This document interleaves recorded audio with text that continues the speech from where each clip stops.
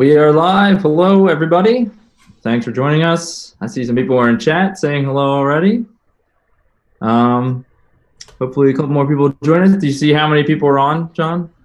Uh, I yes, we have nine viewers. Hey, hey, everybody. Hello.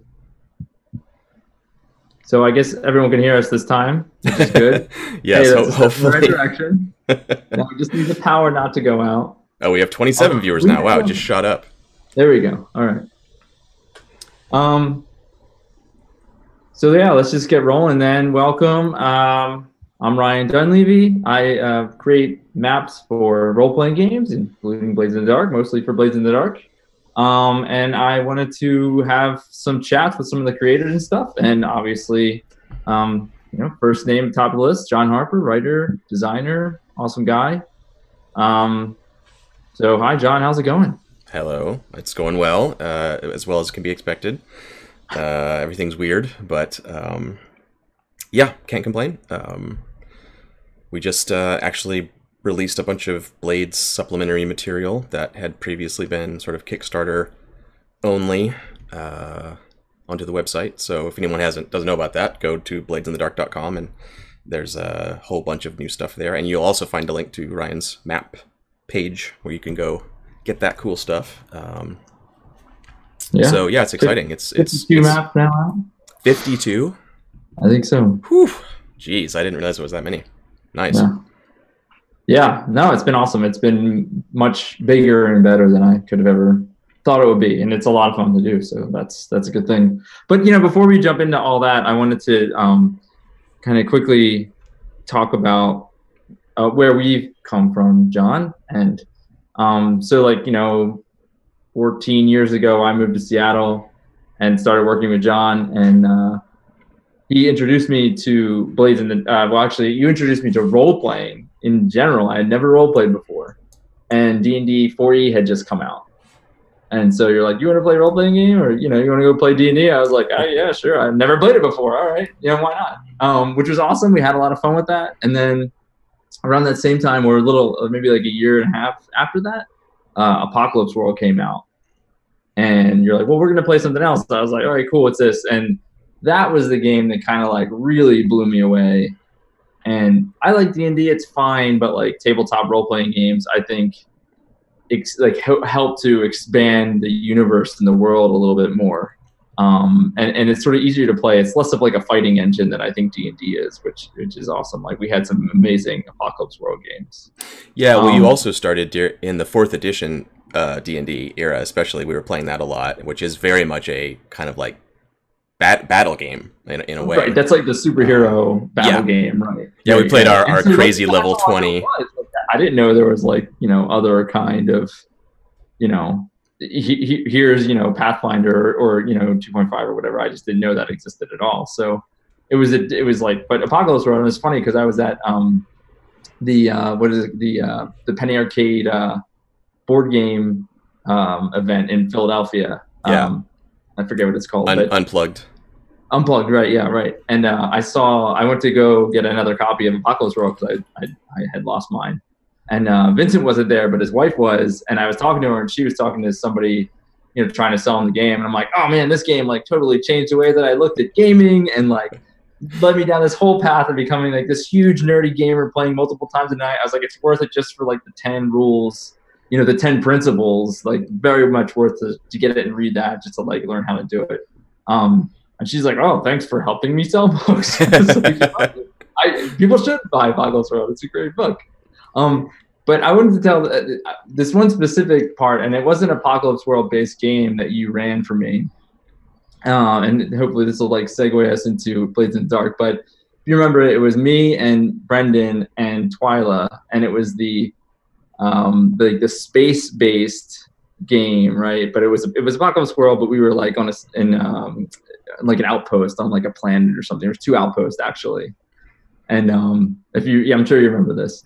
Yep. Uh, Brendan was like this weird android dude, and I was like this kind of bumpkin with the golden heart truck driver guy, and and Twyla was kind of like my sidekick in there, and so you know we like get we get like roped into this intrigue in between these two bases that are there. We like find a bomb, and like we take it back to this other base, and like all these things happen and the one thing about that game that really it's not only stuck with me, that gave me like two two big insights, one into gaming and two into you, um, which was when we finally we came to like the bad the bad guy. if you remember that, right? Oh yeah. And we come to this guy and and we try to do all these things like stop this bombing from happening. And we we meet him finally and he's like you you idiots. You we i had a perfect plan to like fix all these things and this is the, and it would have fixed this and it would have fixed that and this would have been better and this and then you guys came in and screwed it all up. Like what the fuck are you doing idiots? Excuse my language. And uh, all three of us were kind of just like oh well. There was i didn't know that other people had plans. Like what are you and you're just like why are you even here? Like get out of here. We're like how can we help? You're like i don't want your help and from that, I was like, one for, from a from like a gaming perspective, I was like, man, you really should have a bad guy that has like a good idea of what he's trying to do and like rationale for it. And the other thing, and kind of like the bigger insight into you, is that like you were playing and running this whole other world and game in your head while we were playing this little piece of it and then we came to this one part where where you were in your story you're, like, you're like, no, I was doing this whole other thing. I don't know what you guys are doing this whole time, but I was running this thing. yeah. Yeah, it's it's uh Vincent and Meg did a really good job in the Apocalypse World text of taking those ideas and making them very actionable uh, with those simple instructions, you know, tr- make try to make everyone human, give everyone concrete desires and goals uh, for your NPCs. Um, and also look through look at them through crosshairs so you're they're not too precious to you you know? You're like i yeah when i'm playing that guy his plans are the only ones that matter and the ones that are going to be good for everyone. But as the gm i'm supposed to look at him and be like sucks to be you man. The pcs are going to come and wreck all your shit. Which you did. you were like totally out. That guy was like i don't care about you at all. It was it was just such a great moment of like we stepped into this plot that we had like no yeah. reason to be in. You hadn't done anything to like figure out what was going on. You just sort of came in and did this thing, it, sort of right. blind. Yeah. Right. And yeah. it was like run it was like in this plot that you already had running on the side. It was like you were watching some movie and there was another movie that came at it from the side and joined in and, and the guy was like, Where did this other movie come from? yeah. Yeah. But that that idea that like there's this whole other thing happening like off screen in your brain while you're running games with people along like that is in my memory how we like ran into blades in the dark which started as world of dungeons right? Which was like a couple people at the office playing that and then sort of steamrolled into i guess it was world of dungeons for quite a long time. Then it steamrolled into I, am just going to run this game for you that i'm building over yeah it, it started originally as like uh like 1980-ish classic basic Dungeons and Dragons with the old the old purple box uh, and stuff. Right. And then that mutated into some house rules, and Dungeon World was just almost done right around that time. Yeah. So yeah. I brought in some Dungeon World things about like last breath when you hit zero hit points, you like roll to to not maybe not die and that kind of thing. And then that then I made Mortal Dungeons like the next week or something, and into the Odd came out, and we started using Into the Odd stuff, and the players, no, no one cared. It was as far as they knew, it was just D and D, you know. So I was right, right. kind of free to like do whatever. Um, but yeah, that game is the one that that culminated in the the now infamous uh, end of the world moment where the gates of death were destroyed and everything. And um, But I also remember. Didn't Jonathan? I think it was Jonathan Walton and I Mhm. played like another.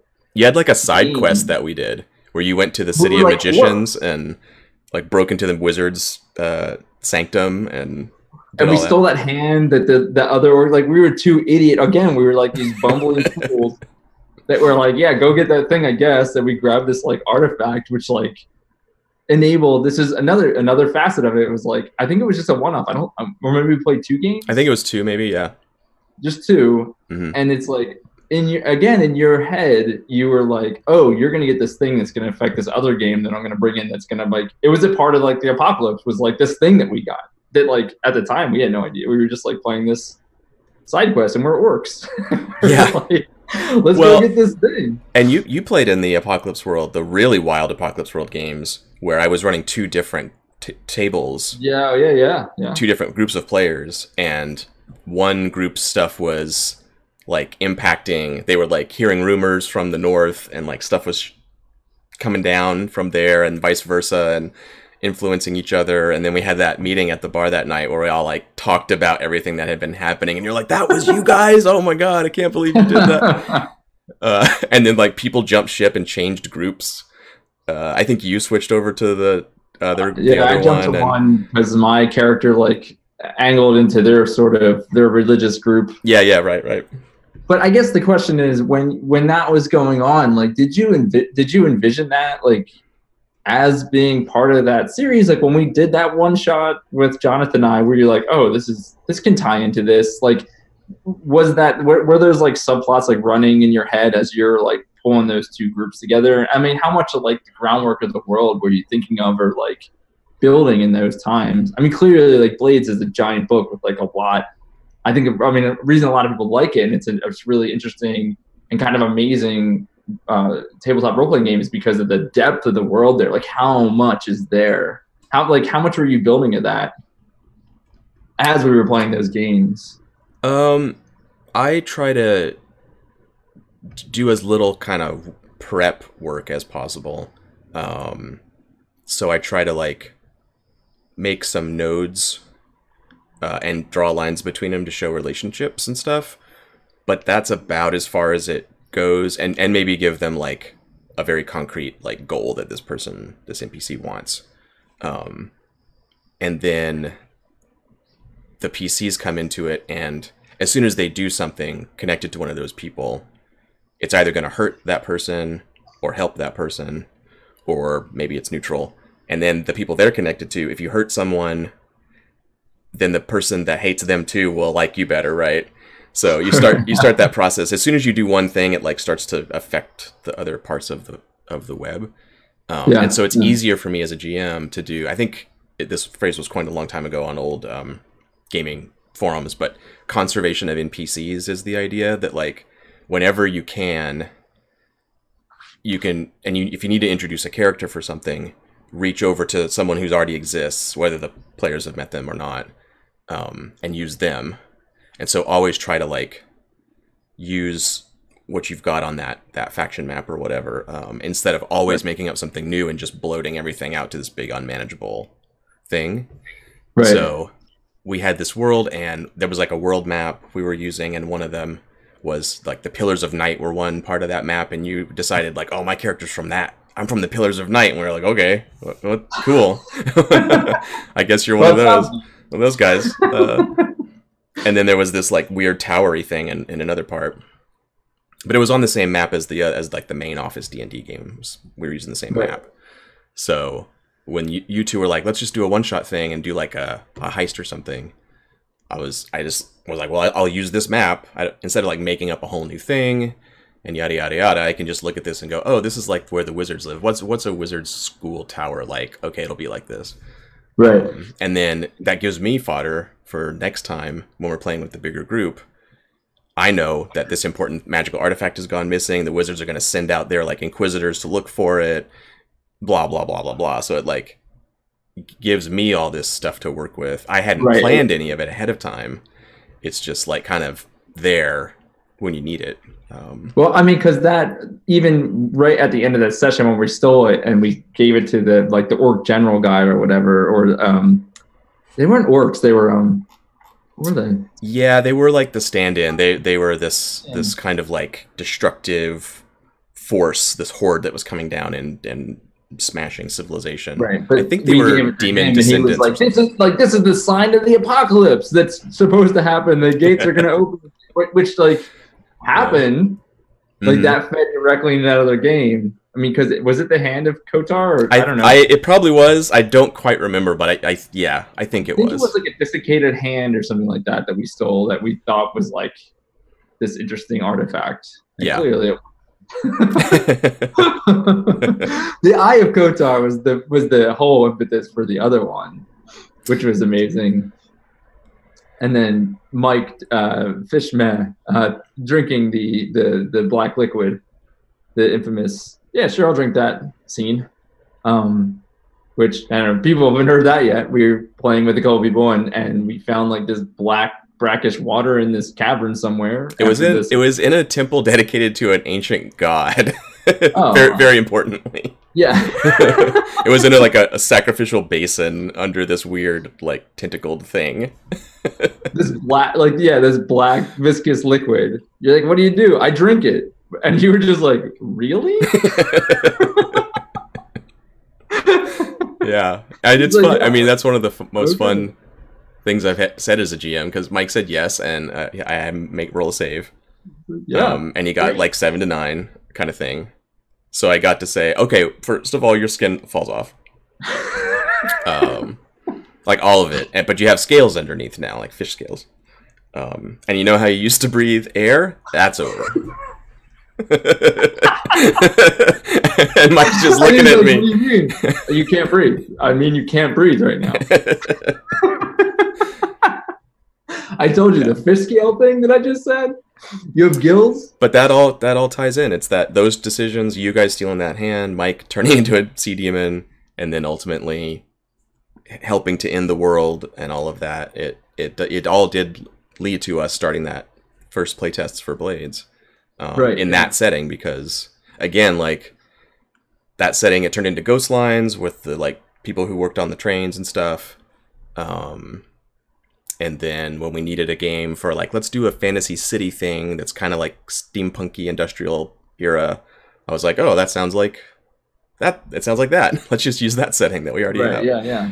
But we jumped ahead in time, right? mm-hmm Right. yeah Do you remember our first sessions of of Blades? What that was? Well, I remember the first session. i remember the very first moment of the very first session uh, i've told that story a lot maybe maybe Oh, you want to. Say what happened in the first second of the first blades oh my god! game Yeah.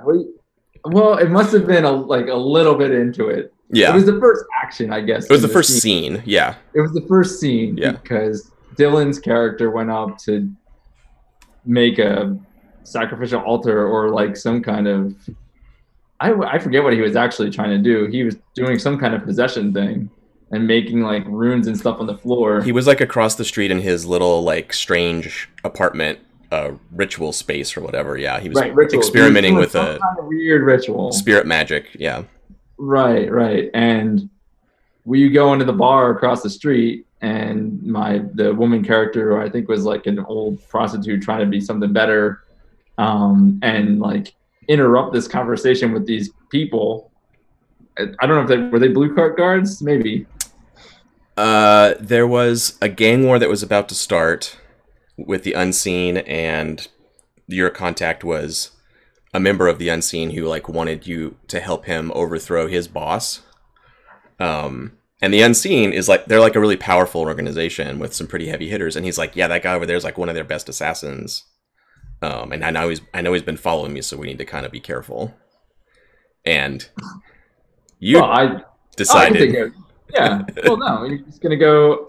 I know. I'm, I'm like a, a, street prostitute. I can uh, I can go over there and, and, and talk some uh, nice into him. I think I'll be able to, you know, sweet talk him a little bit.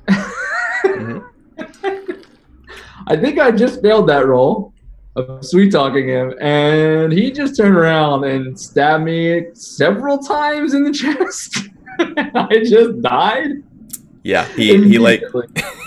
I think what I said was something of like, there's there's like a, a thud in your chest, and you feel the sharp pain, and and the lights go out, and you're dead. Because because he did it. And I was he- like, he did it so well that like nobody noticed in the bar. You know, he was just like, "Whoa, easy there," and like you know, helped you out or whatever.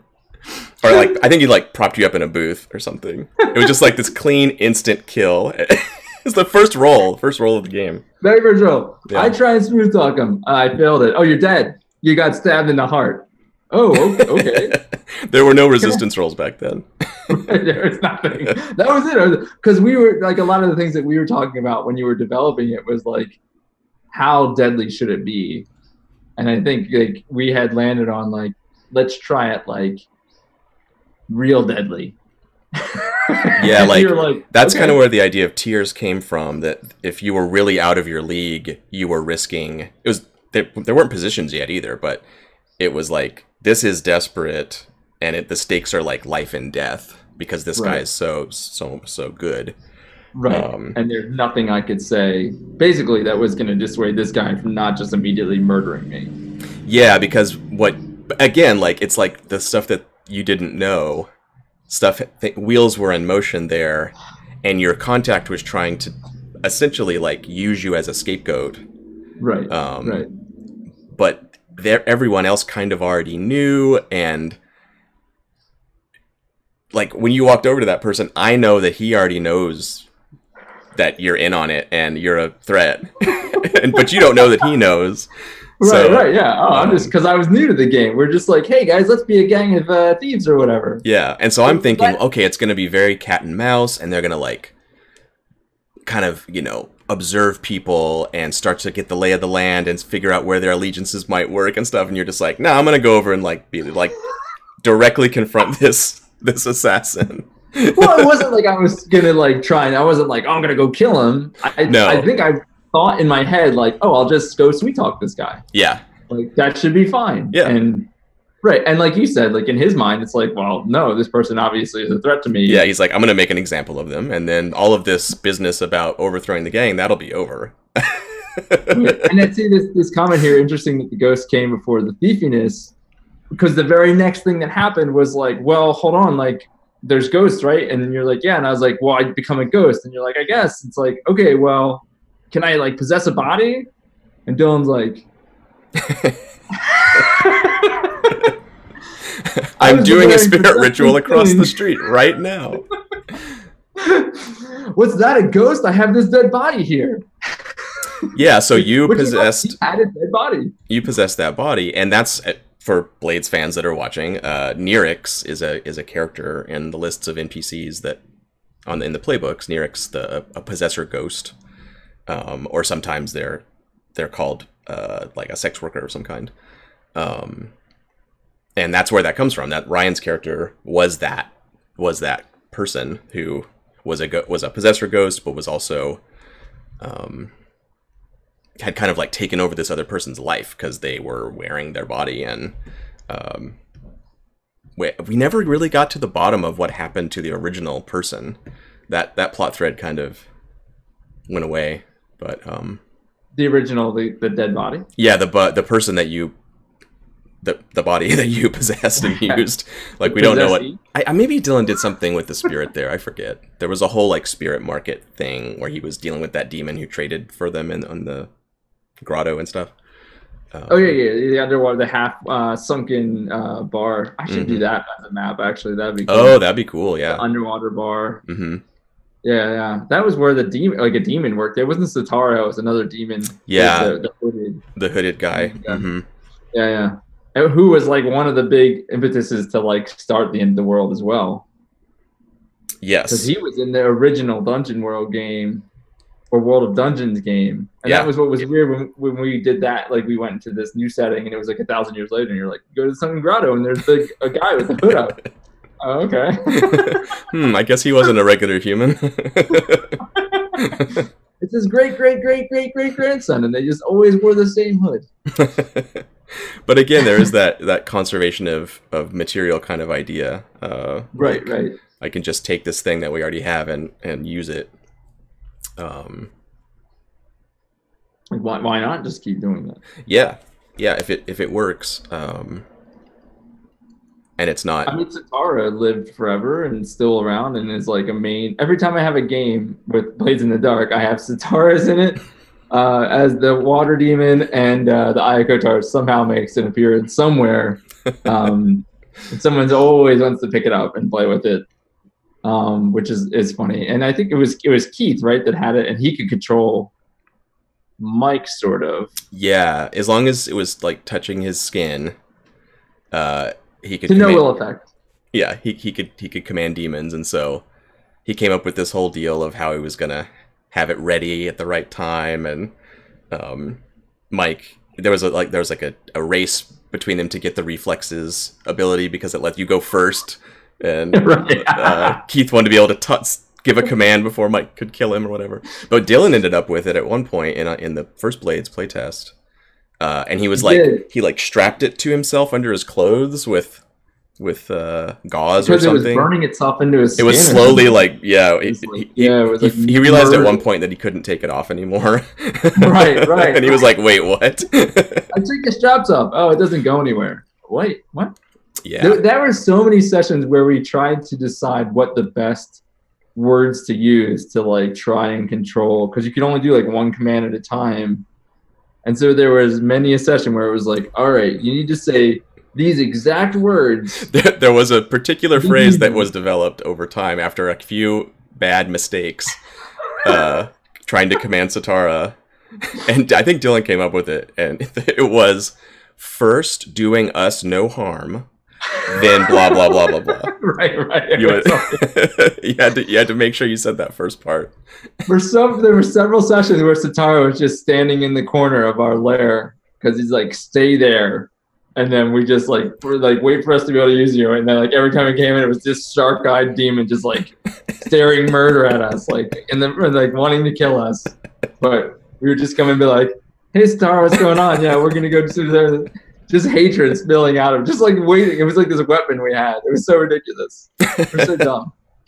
Uh, yeah,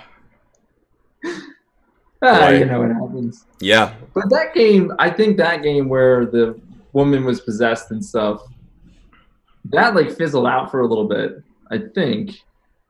We went And through. after a I while- mean, I think if correct me if I'm wrong. I think that that initial playtest group for Blades was a at least a year and a little more, um, just iterating Blades. And I think somewhere between version six and version twelve or whatever, the PCs changed, and I think we kind of because all of a sudden now there was like, oh, we can like have a certain type of crew, so let's let's create that and make some new characters that are in that crew. And i think some of those initial storylines kind of faded in and out um, Well, I think one of one of the things that happened was we started to we started to ask ourselves like, what are we doing? Like, what what is our purpose as a group? And that sort of became a larger question of like who we are in the world.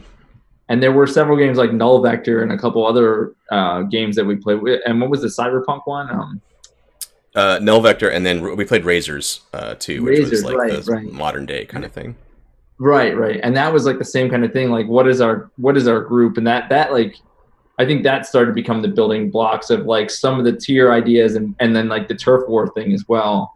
Um kind of grew out of that idea because it often came back to when like because like me and Dylan and and um Zane and I think it was Twyla also that played with us sometimes like we would eventually reach it, but we just didn't want to kill people all the time, right? Like we didn't want to do that, and so it was always like, what's the bigger purpose of our group? And I think we had those conversations often, and that's like, out of that grew this idea. I think of like, like I said, the turf battles and stuff, and so, and then I also think from that uh, came the I'm gonna say maybe positions or something about where like positions they they were in grew from that. they were in the game really early on Yeah. um but they were like um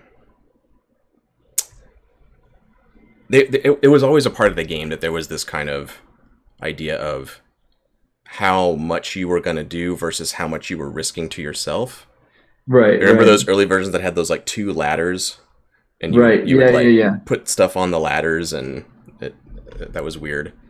Um, but yeah, by the, by the time we were doing razors ish stuff, um, the positions got codified into like an actual role instead of all of that like business. Right. It was like you're controlled, so roll and read uh, under the controlled, you know, Right. header.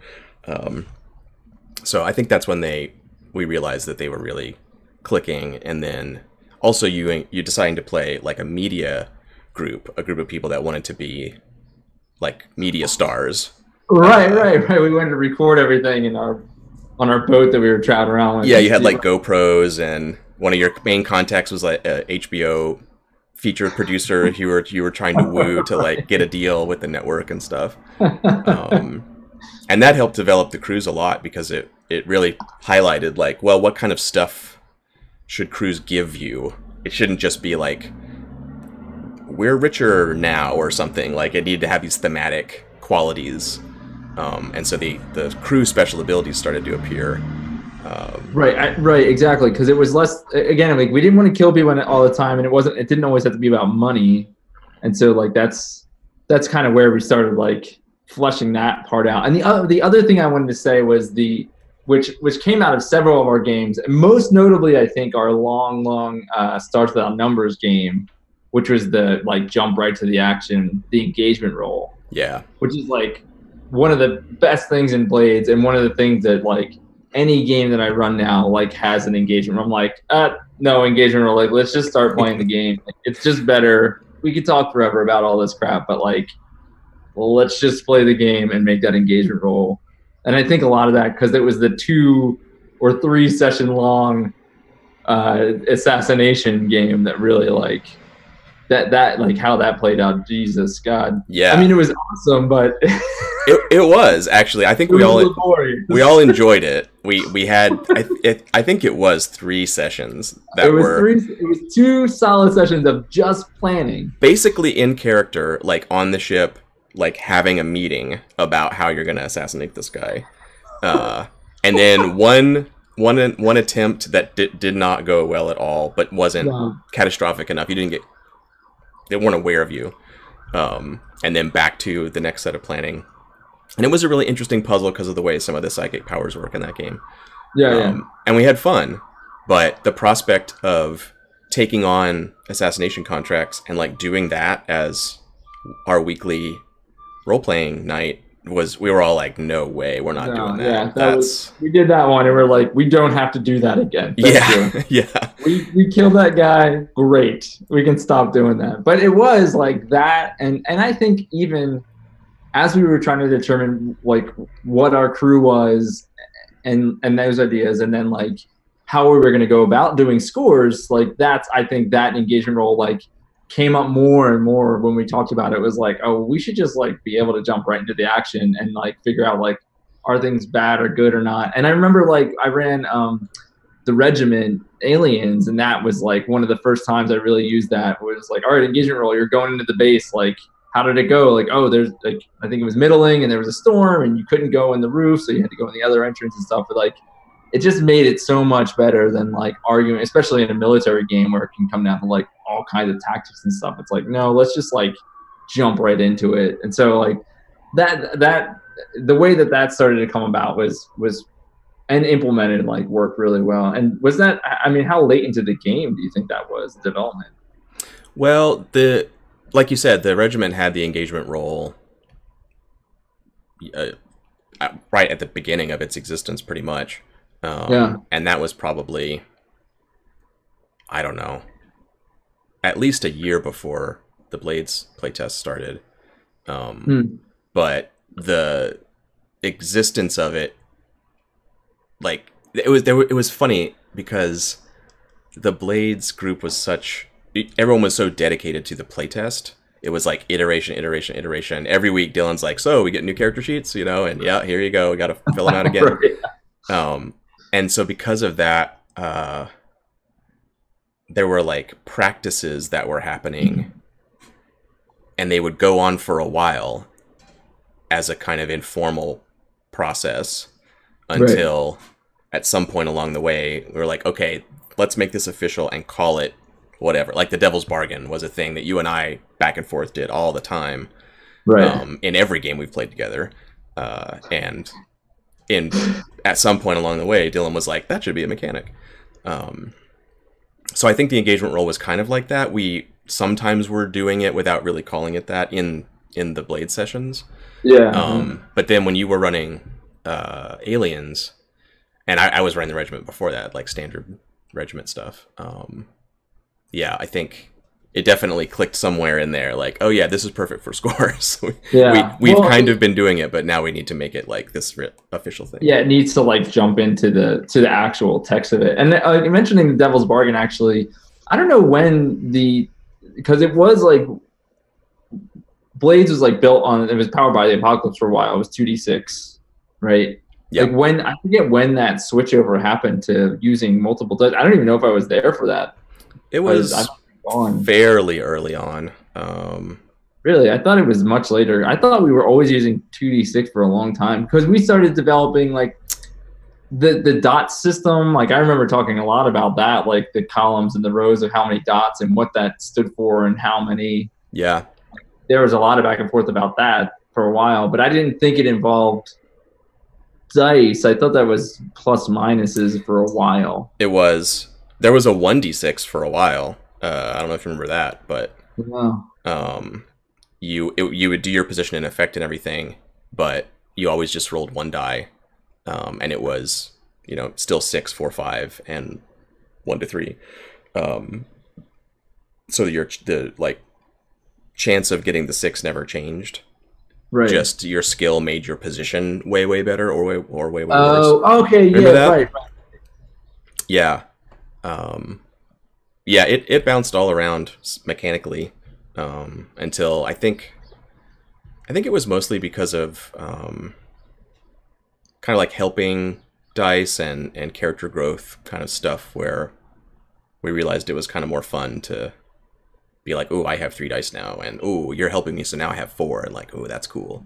Um, Right, right, Everyone right. everyone liked having that physicality to the to the character Yeah, like the, and the it. conversation around like how many dice it should be and stuff like that. I think um, it adds a lot to like what the game can be, especially as a crew and like you should be helping each other and stuff like that. I think that's uh, and the stress system um, also like when was that implemented? That was again, man, whew, yeah, a lot there.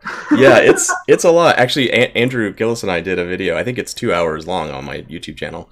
Um, we went back through like all the old character sheets uh, that I Oh, could, that I could find. Um, Yeah. and tried to like talk through the the discernible iterations of blades. So if you're Right. interested, go to my YouTube channel. You can you can watch that.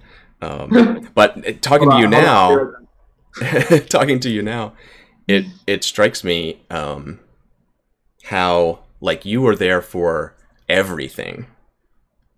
Like you Well, a lot you you were in every game that ult- that leads up to Blades in the Dark, but from the original Dungeons and Dragons game at work through start the regiment, stars outnumber, our Apocalypse World stuff, yeah. Ghost Lines, initial I mean, blades, play razors. times. A, we would play like two times a week, and you and I would like talk about it at lunch like every day. hmm And when I wasn't in one of the sessions for Bloggers World, you were talking to me about it at lunch. You're like, it's Let me tell true. you what happened. I was like, okay, let's go. What's going on in their world? Yeah. Yeah, it's it, it was cool. It, it it it was a luxury as a designer to have very engaged, interested people to play with and bounce ideas off of and talk about and have that like uh, just constantly because we Yeah. worked together too. So it was like just always there and um, and Dylan was like really engaged in that way too, right? Because I mean, he did Scum and Villainy, right? Uh, That's out already, right? Or- no, Dylan did, Dylan is doing um, Blades Against Darkness, the kind of D oh, right, right, right. one. Yeah. Um, yeah, he was totally engaged with it. Um, it's it's been really cool. It's it was a great experience, and even after the Kickstarter, like kind of doing yet, yet another design phase um, with the community involved. There were like almost a hundred dedicated playtest groups that were giving feedback during that time, and like it was just another awesome luxury to have all these people show up and care and like um, contribute. Was there anything you know? that, that came out of those play tests that, like, looking back on it now, you wish would have made it into the game? Um. Hmm. That like maybe it's like, oh well, that was really neat, and I like that, but then it got cut, and now I'm like, eh, maybe it would have been good. I guess like in retrospect, or now that it's out and you've played it and seen people play it, like how do you, how are your feelings about it? How did it, how it all kind of played out? I guess to use a pun. Yeah, I'm I'm really happy with uh, with how it's been received. I mean, it, people seem to really love it, um, or at least it, uh, like, for me, I think a, a good success for something, uh, any kind of creative work, really is to connect with the people that really love it, and also turn away the people that are going to hate it. You know, like. Don't try to just be everything to everyone, and, and I think Blades does a pretty good job of signaling that. There are some still some people that come to it and it, if they've only played lasers and feelings or something one of my simple little games you know they're like what the hell is this this game is so complicated um, but uh, I see somebody wrote on here mayhem. yeah murder murder and mayhem were um, were a- actions in the game because there it sounds great and uh, That should be its own game though. yeah Murder.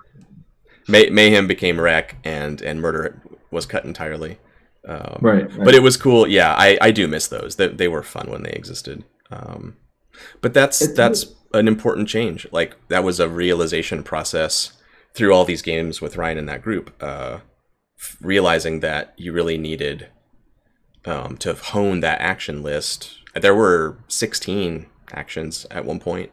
Yeah. Um, and then after the Kickstarter, even realizing, oh, I need to hone them in this second way where they really are actions, not outcomes or goals or whatever. right. Right. Right. They're the thing you're actually doing.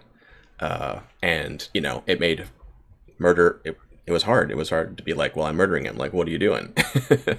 um, I use my murder skill. Oh, okay. yeah. But I remember specifically mayhem is interesting because there's that like Dylan was really hard on like putting mayhem in there, and I think even Zane was, and and and going back and forth about mayhem and wreck and the differences and like it was a lot of like parsing those ideas of what they are, yeah. right? And so, because they are, I mean, like sure, like wreck something and, and cause mayhem, like sort of similar, but they're clearly very different things. Um, Yeah. So that, that was like some of the more interesting, like let's talk about what these words mean moments. yeah. what, what do we actually mean by these words in here?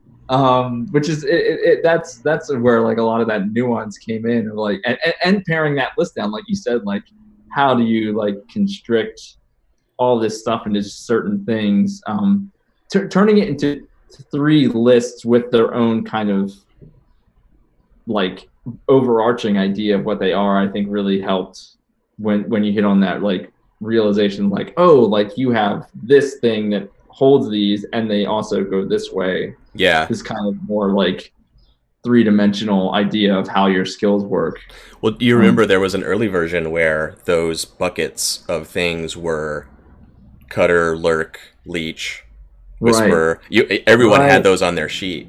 yeah and you were like, yeah. "Oh, I'm a little bit lurk, I'm a little bit cutter," you know, and you would kind of like multi-class uh which is still true in the game because of the way advancement works like you can just take abilities from any of the playbooks so Right, right. everyone is everything uh, kind of but um because i resisted having playbooks for so long there was just everyone had the same character sheet uh and it was pretty late in our private playtesting um where i was like yeah these need to be apocalypse world style because you want to have something you can wrap your brain around and be like i am this. Um, Right, in- right, right. instead of like well pick from these 24 options you know? Right right.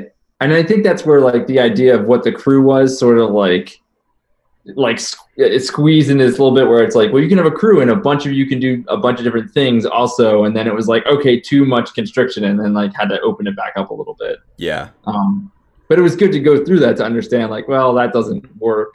Like everybody can't be everything all the time. And i think we had a lot of conversations about how how people play games in that like well i want to be good at everything and like this min maxing sort of idea. Um, and like not how to mitigate that, but like I guess not making it as important to like be the best at all the things or or like really awesome at one thing. I think it, it, every time I play Blades in the Dark, I never like go super heavy in like a, like one skill or anything like that. I'm always kind of like, well, I want to be able to do a little bit of everything. Um, but I guess you can do it that way. But I think we talked a lot about that and um and dying and that was and that's kind of like relating back to that story about uh, about my first character getting murdered right away because you knew that I was okay with that. But that's yeah. not always the case with people, right? And like I, I don't know, how do you think that affected your idea of Blades in the Dark? Because, you know, we had always talked that like, you know, it was actually kind of a multi-level conversation where like people don't like their characters to die.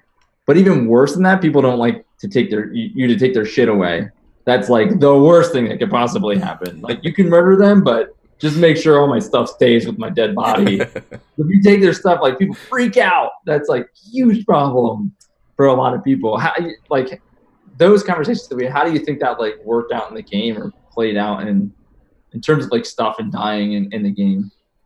I think uh for for death and stuff, um once once resistance rolls got really codified, uh and you know they always succeed, um, but there's this this stress, you know, risk gamble that you take, um, and they're always player initiated. The GM can't ever say make a stress roll or make a resistance roll or take two stress or anything like that.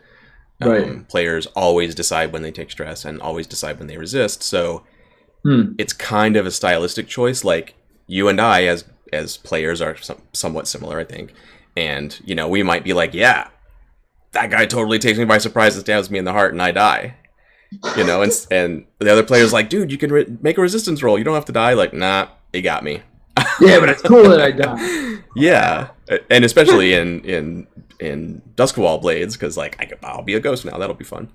Right, right. Um, or you can be like, no, no, no, I'm, I'll I'll resist it. I'm obviously totally screwed up here, uh, but that's okay. I, I'll I'll resist it and we'll follow the fiction from there, depending on how that goes. But um, I I I tried to give, and and there's a bunch of text in Blades about this, but I tried to give people this set of tools to play with so that they could kind of um, create their their own sort of style guide for their Blades in the Dark uh, TV show or whatever.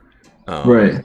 We want it to be super gritty and high lethality, and you know we are in danger of getting sick and, and cold because we live in squalor and da like okay cool you can do all that. You can you like constantly threaten harm because of whatever bad food or or uh, exposure or whatever.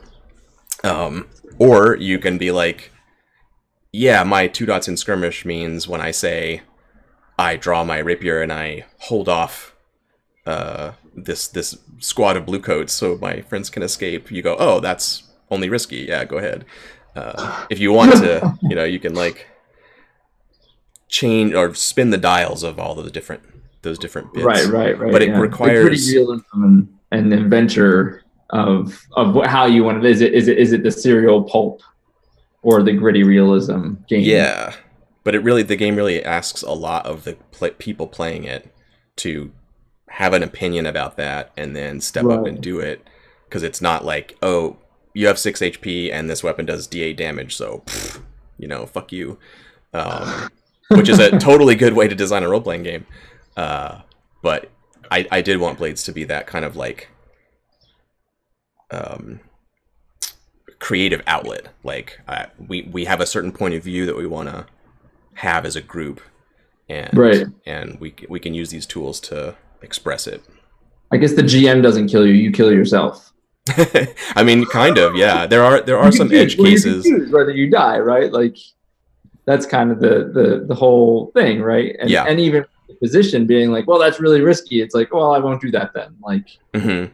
which is you know, it's a good way to kind of allow someone to sit back and be like, yeah, how do we do a better job of this? Um, yeah, and that, I don't know why this brings it to mind, but the whole um, I guess like murder hobos versus sort of the idea of um, blades because you know when people die, like trouble is brought down on you by the Death Seeker crows. Was that like intentional to make people kind of think more about like not just murdering their way through all like all of everything? Yeah, a lot of other games are just usually like, oh well, I guess we're just gonna kill everybody now.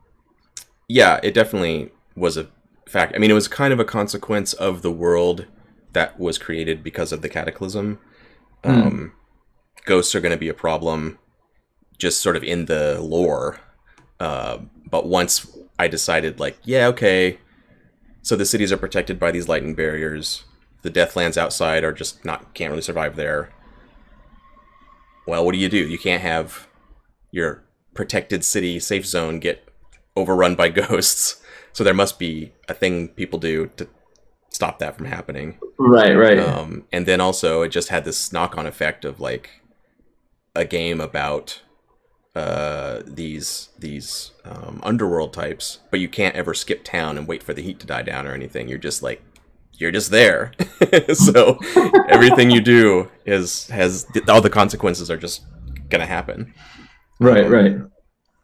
So yeah, that I think that helped a lot too. Uh, to just create that little engine of heat and entanglements and and uh, the the extra stuff from from killing and from uh, punching way up. Like the if it's a, a high uh, higher tier or well connected victim, then you get more heat and more attention, and the blue coats have to care because a rich person is expecting them to do their jobs and you know all that. Right. Um, Have you seen or, or been in any games where like the emperor himself got involved in any of the action? Uh, not directly in any of the games I've done, but um, nobody's, well, nobody's punched that high. That's not quite right. well, yeah. Um, Judd's uh, Bluecoats series that he ran recently, um, semi recently. It's been ongoing for a while, but um, because of the way the the Bluecoats supplement works, um, your characters might be an inspector that's been sent to Duskwall on a mandate from, theoretically, from the High Office of Justice of the, of right, the right. Emperor's Court, you know? So you're kind of on a mandate from the Emperor, sort of working for the Emperor. Um, and Judd has definitely, like, in, injected a few, like, bits of uh, his own lore and, like, talking about Imperial City and, like, the how the Emperor might be. Um, and then Sean Nittner just released um, it uh, for free. It's on his website. There's a link on the Blades website in the supplements section. Uh, it's called Broken Spire, and it's a supplement where you create a crew um, and characters uh, just for just for Broken Spire. It has its own little creation system. Um, you pick from three different options of people who have spent years, decades, generations uh, and you and you start at different tiers. You can start at tier five, I think, is the top. Um, uh, have spent all this time and effort to position themselves to kill the immortal emperor. They're going to assassinate him. Somehow. Ah, cool. So you can nice. play his Quicksilver guard, his like personal bodyguard that's uh, ready to like turn on him. Um, you can play uh, like other powerful factions. I don't want to spoil it. There's some good stuff in there, but um, uh, one of them has to do with certain characters from certain World of Dungeons games from from the past. right, uh, right. so yeah, some of those people's ghosts, you know, they're still around. So um, they, they have they have an agenda. Uh, but Sean's added all these different like kind of lore questions and stuff. Like people say the Emperor is like this, you know what, and so you get to kind of create your own version uh, and what his strengths and weaknesses might be and, and that kind of stuff. So the murmurs of his actual name. Yeah, exactly. No one knows his secret name. Uh, oh, people know. some uh, people know. Um, yeah. Um, so that's if, we, if, you were running a game for us, our, our immediate goal would have been to become gods and uh, defeat the emperor. You know that. Right? yeah. I don't know what half of our games we became gods at the end of it. it's that was usually our goal was like how how we live forever. And whenever whenever there was a sandbox, it, I would always do like oh here's like ordinary jobs uh, or like kind of mid tier jobs where you're gonna face some opposition and it's gonna be a little squirrely, and then there's like the really weird one about the the ship that went missing in the dark quadrant and no one's ever heard of it for thousands of, and everyone's like that one we're doing that one fast forward six sessions and everyone's going how did we get into so much trouble? Ah. why, why is everybody after us? What are you talking about? You went after the highest profile target you could possibly find. Twice. That happened twice. It did.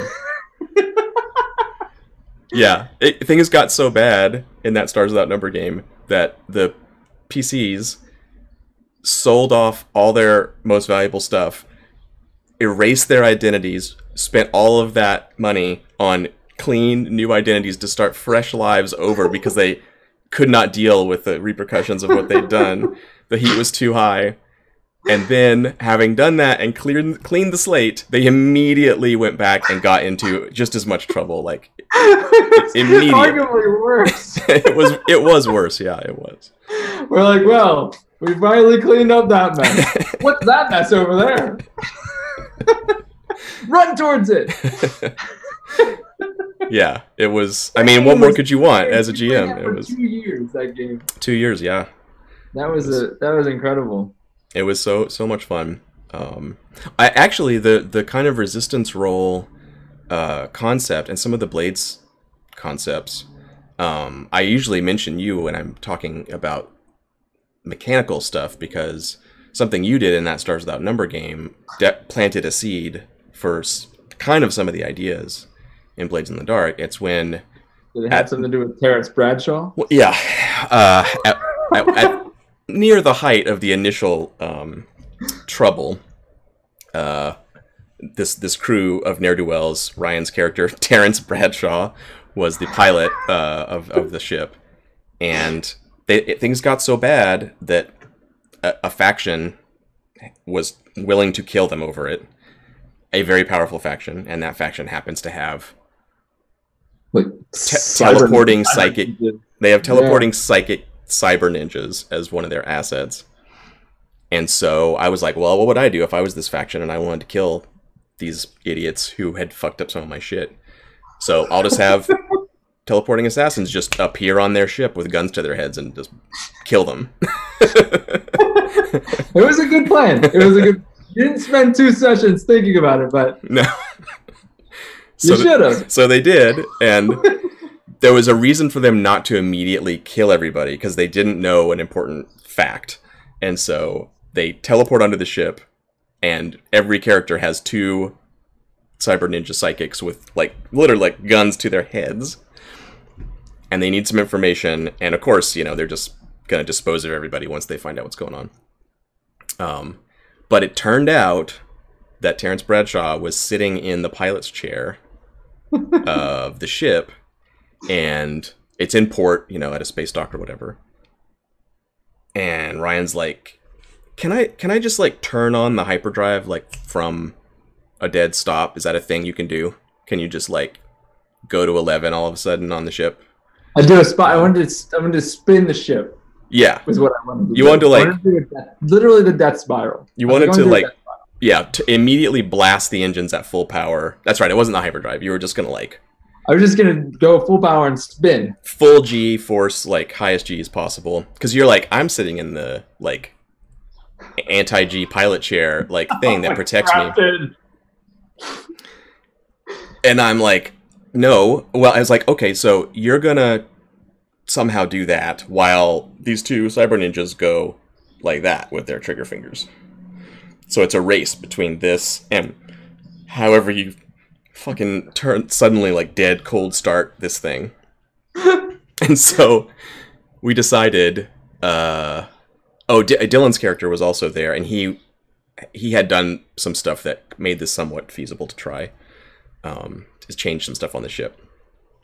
So I gave you some stupid roll, like yeah, like I don't know. It was it was essentially like, you know, roll a perfect roll. Um, and and and you're like, and if you do this, you're probably gonna kill everybody. Yeah. Well, we didn't even get to that right immediately because I and this was the spirit of the blades thing that I that I always tell people. I said, okay, you can make that roll, and uh, yeah, whatever it was, it's like a five percent chance or something. And I, um, and you were like, okay, so if, but if I fail, they just kill me. like they just pull the triggers and they kill me if I fail this roll. I that that's the only bad. That's the only downside. and I was like, Oh, just as long as we have the consequences out there. Yes. We need to know. yes, that is the only downside. and you're like, cool, okay, yeah, I, I, I do it. and and you did, you succeeded and launched the ship off, and it pulped everyone inside, including the other PCs. Um, I didn't pulp them; it killed everyone, broke their necks and stuff, and uh, everyone had to make saving throws. And the one and only character on the ship who had the psychic ability that could s- save people from death f- succeeded at her save didn't immediately die. Everyone else did die, and then you brought the ship under control, and she crawled through the ship, despite her injuries, and psychically resuscitated everybody.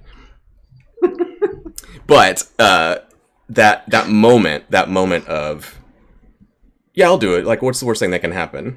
Um, uh, my character dies. Okay. Uh, that that s- spirit just was in all all the games we played together, and um, I got very used to it, and um, I wanted But I wanted to started by- create something that would give other people the chance to to have that feeling. Right. But you started by saying that it did that influence the resistance idea? I guess Yeah. people could roll. Yeah, because uh, I like like we said before, not everyone is quite as um, excited to create a new character when when their other one dies. Uh, I'm not create. I'm, exci- I'm not excited to create a new character. I'm excited just to die yeah, well, that's true. In an Um, ex- in a good way, in an exciting way. in an exciting way, right? Right.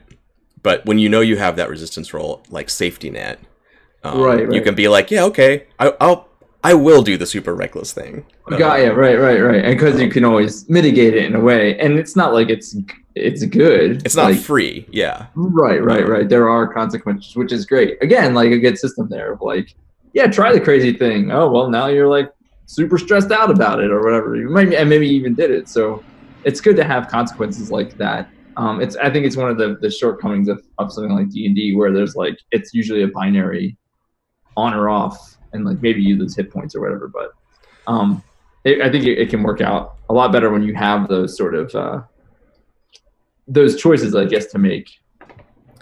Yeah. Um, what else have we got? I had some questions. I don't know. Did I ask any of them? Um, how's Agon going? To switch gears. Uh, great. It's it's done. So- it's out. So you, well, you wrote Agon a long time ago. You, that was your first or second game that you published. Maybe your first. Technically, the the first one I published as like an indie developer. I had I had, I had made games before, but um, Right. Yeah. That was like your first one. That was 2006. Yeah. Right. And so, with your experience with Blades and how that played out in the game itself, how did that influence Agon? Did you change a lot of the core rules? Did you? Yeah. I don't play Agon. I don't, and I I backed the Kickstarter, but I, I don't think I've ever and I downloaded it. I don't think I've ever played it. I don't think I don't think you it. played first edition. I mean, not with me anyway. Uh, No, I don't think so.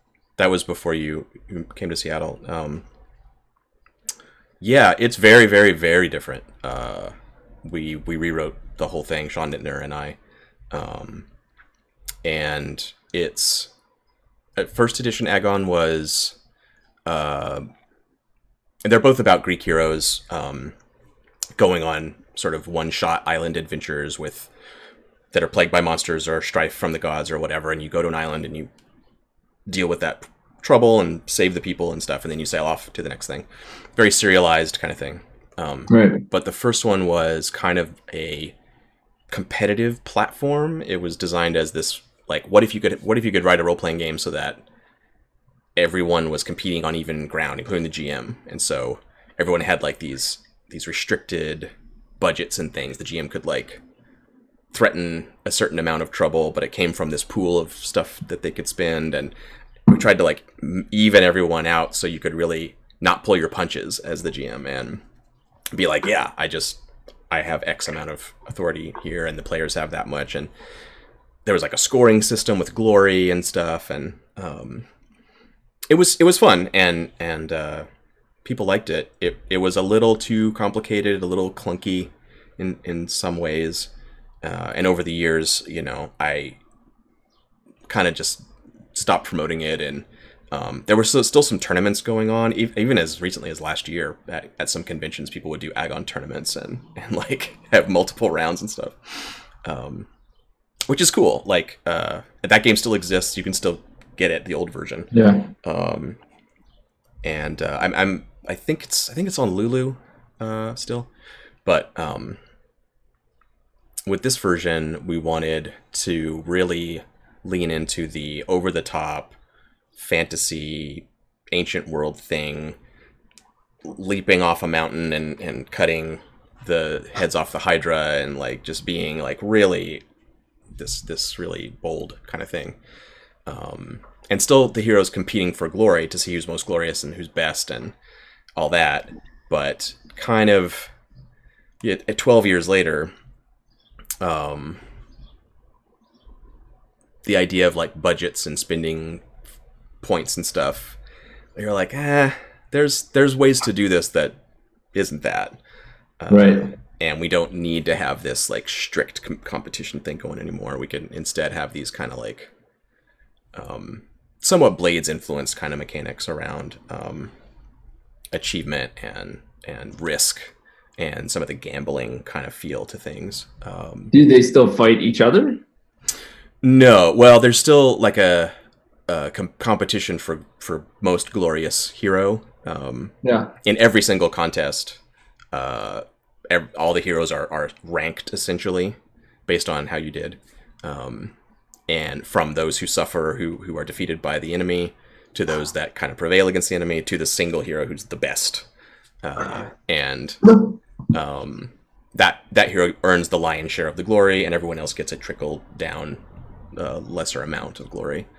Uh, and glory is kind of the main thing that drives your character advancement. And uh, well, there's two tracks. There's your glory, and then your fate, uh, which is sort of like trauma in blades. It's like your permanent harm that never goes right. away. Yeah. Um, and when you reach your fate, your hero's story comes to an end, and you tell your epilogue based on how much glory you earned and stuff. Um, but as your fate advances, you also become more powerful because you're like, you know, a more seasoned right, uh, yeah, hero. Yeah. Um, so yeah, it's it's uh, very much focused on action and resolving things very quickly. Um, the old Agon had some long knockdown, drag out fights that would take like a D&D battle, like it would take you know an hour or more. Um, and the new one is one one roll contest for everything. You just like uh. have it all out, boom, um, and resolve it. Uh, so it's very fast paced and um, it's it's suitable to like that zero prep.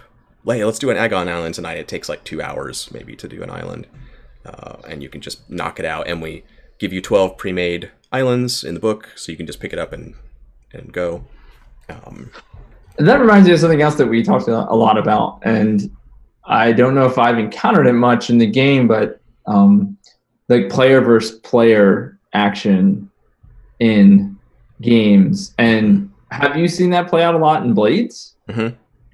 How's that worked? Because I know, like we would, like with Apocalypse World, some people had issues with that. I don't think in some like I don't think we ever did, or people we played with, they would just like I don't know, roll against each other, I guess, and see what happens. And then like we were always very PvP oriented in our in our local game groups. Um, yeah. Uh, with you and with uh, Paul and Shannon and Sage in that group too.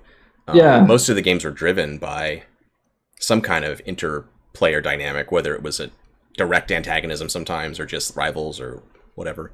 Um, we we made that video with Peter years ago, uh, where we played Apocalypse World and essentially just had a four player PvP match for the whole session. um, Baker was there. We're like, we're just gonna play with, our, you know, mind. but it was really good because at at that time back then, people were struggling to understand how to do PvP and stuff like Apocalypse World, um, where there's no like opposed roles and stuff.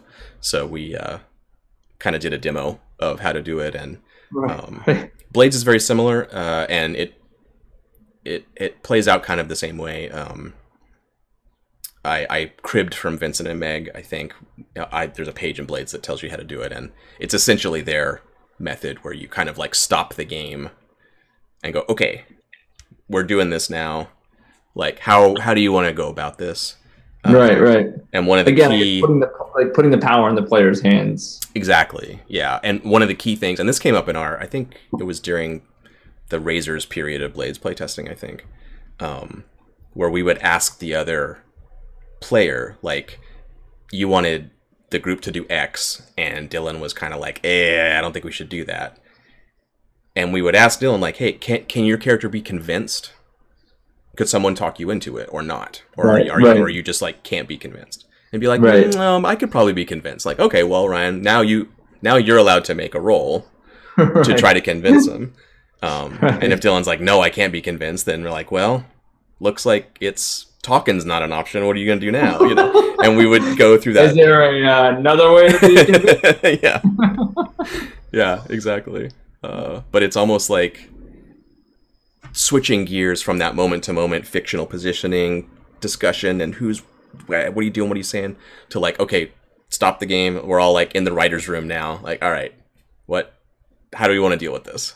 right, right. um, and that that keeps it from being like oh i'm going to use the game mechanic to like have my way with another real human being sitting at the table like no no no no we're not doing that right, we're right. gonna ha- we're gonna work it out person to person and then decide what game systems are gonna like resolve it Right. I mean, I guess you could just decide that you're going to do the thing to someone else, and and see what happens. But you're, I mean, Blades is written specifically in that way of like, hey, you guys should like talk it out before you kill each other.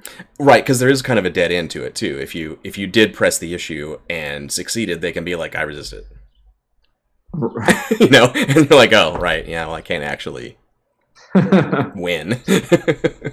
Um, resist it, and I'm not playing anymore. Okay. yeah. Yeah right. That the ultimate resistance role. You just leave. Um, I resist coming here anymore. yeah. Yeah yeah. Uh, but agon definitely has that space for that um, it's it is less like direct confrontational but there is this kind of um, there's a reason to um, compete so you know if Sure. if if someone is like well i'm gonna do x to convince the queen to change the rules of her court and someone's like well good luck with that because i'm gonna be even more awesome and make make it work out this way uh, so it's like you're kind of racing next to each other as opposed to like smashing into each other Right, right, right. Yeah Um. So, does anybody have any questions in chat? If you want to ask anything, I mean, I could talk to John about our old games all day long. Not for me. it is fun we have a lot we have a lot of old stories if anybody, uh, yeah, if anybody has any questions, you know, uh, uh, type it in and, and ask away. I remember one of our games that the kind of the biggest player versus player games in a game where actually I did become a god. Um, when uh, when remember I wouldn't turn, I would not turn like the the attack vehicle around, and you kept like in brain like destroying me over and over again until I would until I just I died. You killed me yeah and that was Ap- apocalypse world where it's just like i don't know i guess i just touch you and i just keep um just keep destroying your brain until your brain melts all the way and, I, and that's what happened i just you kept doing it, you kept succeeding it wouldn't stop Yeah, I Yeah. had that. There's that brainer ability. It, it does one harm, um, right like psychic AP. psychic damage, AP. Yeah, uh, and it was I I was I was rolling to go aggro uh, on you because I think that's how it works. You you roll to go aggro using your brain, uh, and then you can Right. threaten one harm AP with your mind. right Um, and I kept getting that result where it was like they can cave and do what you want or force your hand. And you're like, I force your hand. And I'm like, okay, I have to follow through on my threat because that's the rules of going aggro. So you take one harm AP and you're like, cool. yeah Uh, and then I just, you, melted, you melted my brain i came back to life my forearm freak uh not to be fucked with guy and, and eventually i ate some kind of magic demon egg and became a god so did tony actually. that that was a very strange. That wasn't even strictly Apocalypse World. It was remember it was Empire of Dust originally that game, Oh, right. and then we like morphed it into an Apocalypse World game. Yeah. Um, That was really Empire fun. of Dust was interesting. That that that like grid battle system they had was kind of fun. Um, we played a few of those matches where we're like shooting explosive barrels and stuff. It took a long time though. It did. It was slow. Yeah. yeah. Um, so we have a couple. Where is Razors in the queue? Oh yeah. Uh, hello, Matthew. Um, it is. It's a little complicated. Um, null vector is like ahead of it uh, because it's a stretch goal that has to be delivered. Um, and Which is a cool game too. yeah, uh, well, null vector. I don't know if you remember. I don't know if you were in that game even, but um, those two settings like started to merge together, kind of like Yeah. like Razors was kind of the past of null vector, maybe in a way. Um, and It was like alien artifacts coming through like rifts and stuff, and people we, we were trying to collect those artifacts. And Null Vector was that was Razors, and Null Vector was more like the cyberpunk, right and So- like that that computer stuff was like built off of that like alien. at, at that that weird technology, yeah, that's right, right, yeah, yeah. that's how we were playing it and that's still kind of true but um they're going to be kind of closer in time and i think i'm taking a different tack now well null vector's on version like 10 i think now but um they're going to be two different approaches like the razors team where you're kind of these mercenaries for hire um, or null vector where you're more like uh, a revolutionaries insurgency Hmm. um you're you're the, the the one of the core ideas of null vector is that it's a one shot uh, this is the current version anyway. Um and it's going to use some of the some of the technology probably from uh, Sean's Broken Spire. Um, so you can set up this thing and your your crew is like poised to strike a significant blow against the powers that be in the cyberpunk sense. Yeah. but um, it's called null vector from the mathematics term because like the cyberpunks have lost your the the corporate dystopia has won um, but you're in a position to like cripple one of them or change something for the better for your community or something or other. But you don't play a whole campaign struggling against the systems the way you do in normal blades. Um, you just you have your one last shot that you're taking to like do the thing.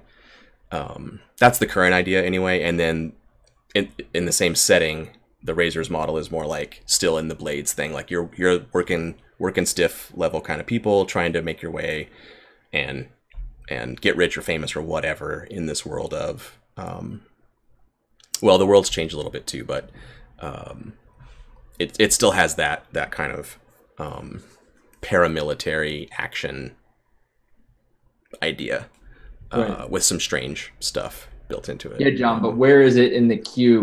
so null vector is first in the, in the queue and it will be uh, oriented towards that one shot thing. And then i'm trying right now i was working on it yesterday actually uh, to see if to, to build to kind of like think ahead and build stuff in null vector that i can just sort of make into razors.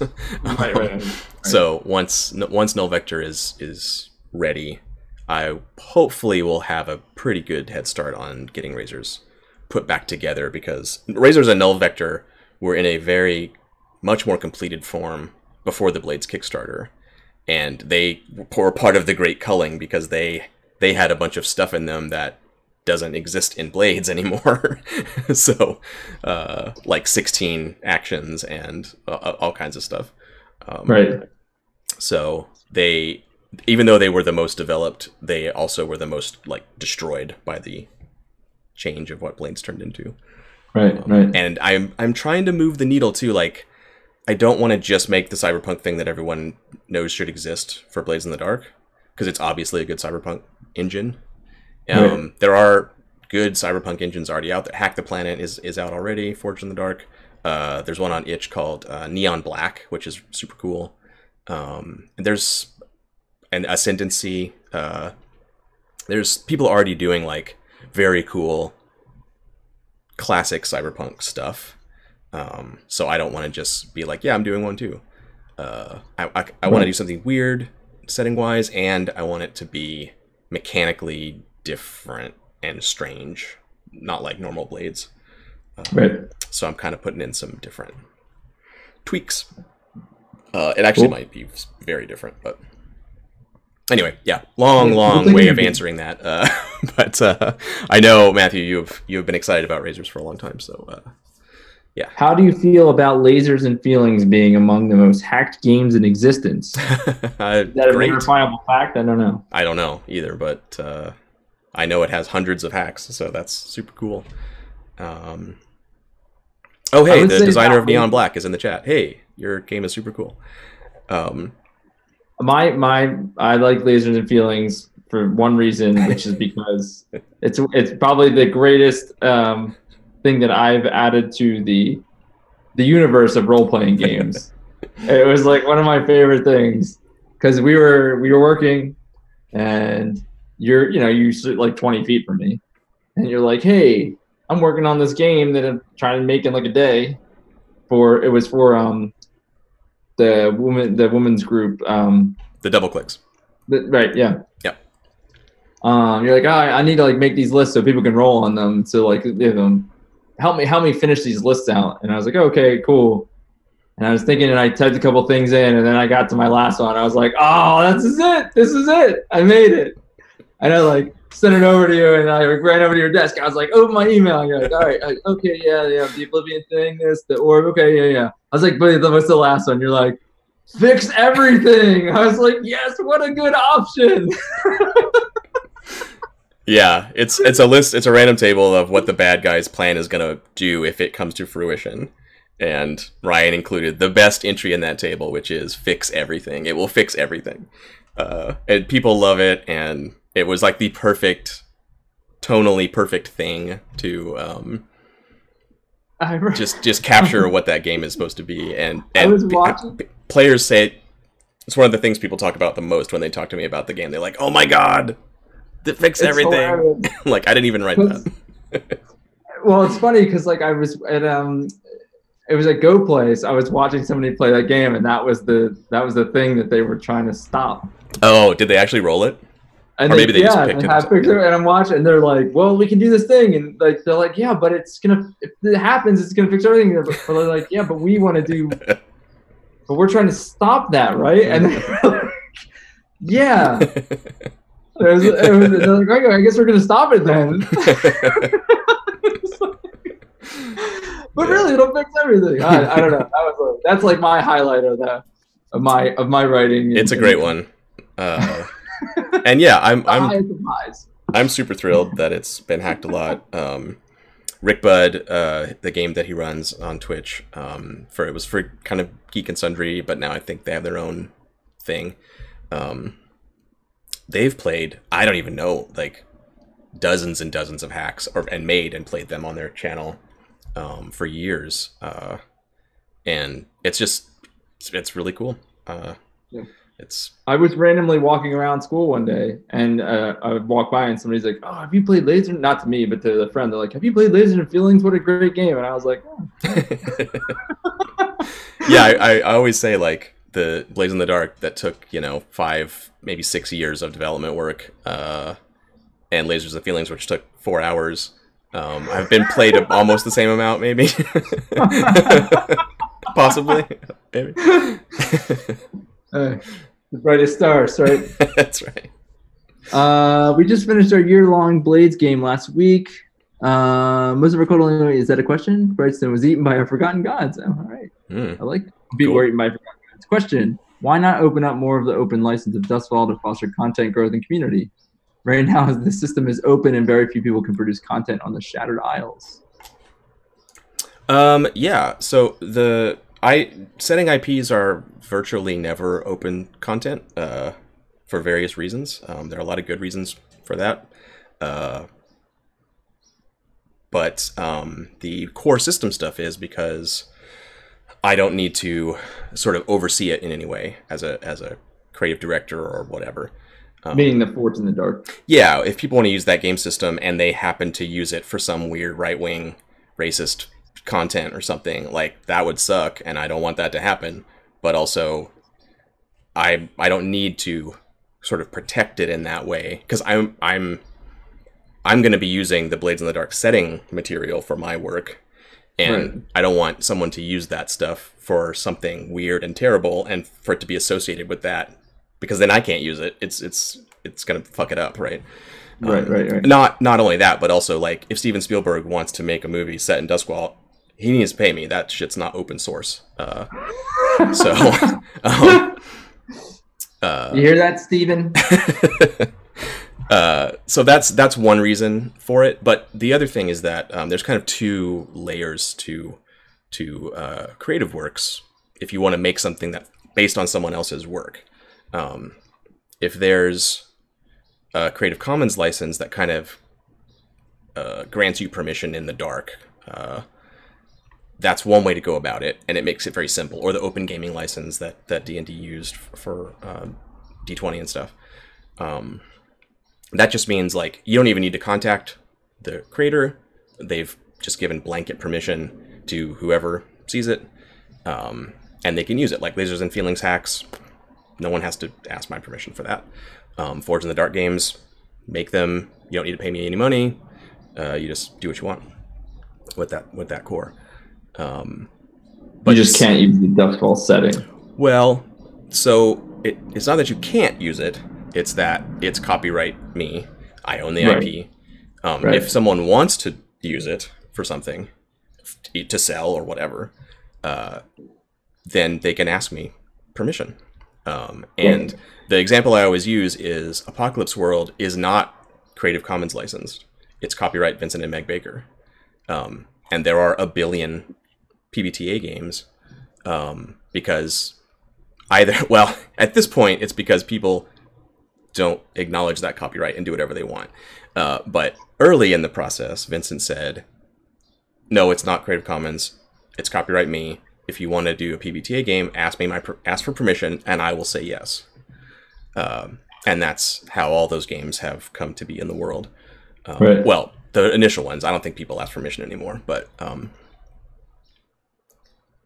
the the fact that that technically is Vincent's copyrighted IP.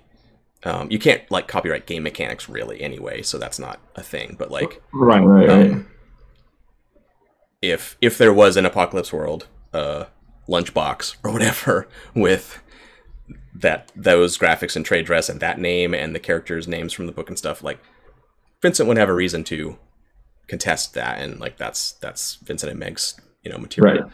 So same thing with Duskwall and the Shattered Isles and all that. It's it's not for someone else to merchandise, um, but Ryan Dunleavy right here uh, is is a good example of someone who said, "Hey, I want to make official Duskwall shit. I want to make these awesome maps, uh, and I'm gonna sell them, and uh, and it's, it's gonna be cool." And I was like, "Yeah, of course. You, you know Blades as well as I do. Like, go for it. Do do what you want to do." Um, and there have been several examples of that. There's, there's three Blades in the Dark novels that are out already, and um, the heist deck that Andrew Shields, the novelist, also made this the heist deck, which is on Drive Through, um, which is really cool. You could like draw cards to like create a heist on the fly, and um, it has NPCs and and um, loot and all kinds of stuff. and he was writing. He had a Patreon where he was writing and releasing that as well, like every Yeah. month. That was cool. And he just he asked permission. He's like, I want to do this stuff, um, but there's there's a hurdle since you're using someone else's work. You know, uh, I I want I want to curate that, and so I read the novel. You know, before I was like, yeah, great, go ahead. Um, I want to have some oversight over that stuff. Uh, and and Tim Denee uh, just came out with his set of maps, which is like the companion piece to Ryan's um, where Ryan's been doing like individual buildings, rooms, and and you know this like really elaborate uh, exploration of the city. Um, Tim has done kind of the other way, which is like the sh- the street level guide, uh, the sort of like city map where you would be like these two streets cross here, and he named every street in the city and like did that kind of thing. Um, It's cool. it's really cool and you know it it took a while to come out mostly because tim worked pretty quickly but then i was the bottleneck i had to go through and read every single street name and every concept in it and like be like, is this what I want? Is this right? Um, like, I, not to call Tim out here, he's a brilliant creator, but I'll just tell you part of the process. Uh, there were references to like uh, Earth Tarot um, Arcana. Like a, a section, section of streets was like staves, coins, swords, cups, or something like that. Um, and I was like, oh, well, there this that tarot doesn't exist in Duskwall, so they wouldn't call their streets that. Uh, and he was like, oh yeah, cool, great, and he changed them to something cool. Um, but that I have to do that. I, I feel responsible for that IP, so um, I want to take that level of care about it. Right. Anyone's free to pitch me whatever they want to pitch and make stuff for for Duskwall or for official um, Blades things, but you know, I am the bottleneck there, and it's true. There there could be this whole community of creators if the setting was was open source, so to speak. Um, but I've never seen that go well anywhere. I basically no one does it. Uh, it seems like it's going okay regardless. It's going fine, yeah. There's a um, lot of really interesting people making very cool things for it anyway. Yeah, yeah, yeah. And if you want to do a fan work for anything, you know, you if you want to make your Star Wars fanfic, you can. George Lucas isn't gonna, or Disney isn't necessarily gonna sue you over it. Well, who knows what they'll do, but um, yeah. If you want to make fan stuff for Blades, that's fine too. Uh, it's not like I'm saying, you know, no one make anything. Uh, but yeah, if if you do want it to be sort of an official product, then then just ask me about it and we can work something out. There you go. Yeah. So, what was the idea behind the hunting grounds mechanic and how it came to be in Blades? Says Jenkins the Great. Um, it was a kind of uh, missing piece from some of our playtests. Um, and then actually it was I guess it was a little more important after the Kickstarter people started getting into it, but the car- the crew creation process um, and the character creation process too uh, asks you to make these decisions that kind of like pisses off this person and makes this person more your friend and you get this asset but not that asset and it kind of like keeps the game from starting in this in this static position. Um, the game is already like tilted a certain direction. You're already you know up here and down there or whatever. So having explicitly having to say like we have been given permission to operate as criminals in this area by this other faction. Um, yeah, it gives you some little bonuses. You get a extra downtime action and stuff like that. But it's more about like having to say that at the table, so everyone goes, "Oh, okay." So the crows are like in charge of this area, and they've given us this little piece. And right, right there, you have that that thing where someone goes, "Well, what makes them think they're so high and mighty?" You know, da da da da da, or whatever. Uh, and it's it's it's really an excuse to create some context, drive play, and some people just ignore it uh, and are like, whatever, we're we have hunting grounds, cool, and you never really think of it again. But other groups like the Bloodletters, uh, the group with Adam and Strash and, and Sean, um, from day one, they were like, nah, nah, fuck these red sashes, we're not paying them shit this is our turf. Like they just were immediately like, nope, no, no, no, no, no. Our hunting grounds are wherever we say they are. Fuck them. Um, I that, think I remember vaguely. Series. Vaguely, we talked about like there's a book series where like um, magic depends on like where you've like graffitied in the city, right? You and, told me about that. Uh, yeah. You were reading it when we were playing Blades, I think. Um, yeah, and it was like, oh yeah, like yeah, you can like draw power in certain areas of the city. You're like more powerful, and I think that's that's a little bit of where that came from. Was like, all right, you know, like if you can say that you're like this is your part of the city, you have bonuses in that part of the city, which was I cannot remember what the name of that book series was, but um, yeah, wherever they had like graffiti in different parts of the city, they would like they would their magic would be a little bit stronger there and they could like it like spidered out all over the place and you could like graffiti over other people's stuff to get more of your magic there and stuff so it's like, like, ley lines kind of? They were like yeah yeah. exactly exactly. It's like mm-hmm. we have the power lines you can draw off of and, and and other people can't so that's to me that's like where that idea always came from. The whole entire crew faction sheet and moving out like that was like something and you were like oh that would be cool like a whole game like that would be interesting where you have turf and i think that's where like yeah part of that turf idea really kind of like globbed onto it in that. It, it- yeah, and it was it was two two aspects too. It was like driving the fiction of being a small time crew in a bigger city that's not making room for you that you have to fight over as like a way to propel the type of fiction that Blades wants to be. And then also like back to like making crew sheets like what's what's fun to record that makes you feel like Right.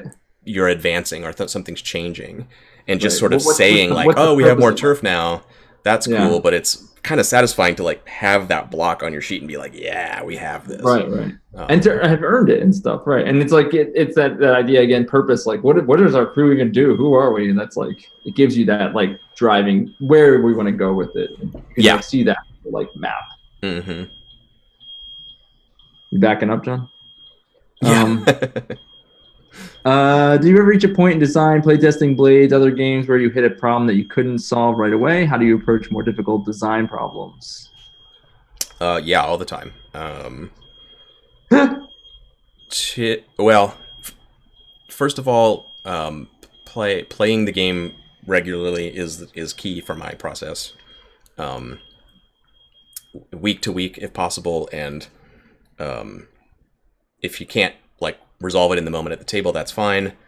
Think about it during the week come back with a iteration try something different. If you're playing super regularly and iterating super regularly it feels less problematic. Uh, if you're if you are spending like six months working on something for one playtest night and you're like ah ah fuck and then you get that one thing and it doesn't work and then you have another six months of like tr- tr- trying to wrestle it it can feel like ah, I, I, I don't know what to do so playing regularly and, and iterating rapidly helps each aspect feel less like big and overwhelming because you're doing it so much. Um, but also I will I either just replace that system with someone decides, um, or if you want, you can flip a coin as a placeholder, and you'll either discover like, wow, that's very unsatisfying to have someone just decide or flip a coin. I need to write a cool mechanic for that because it really matters.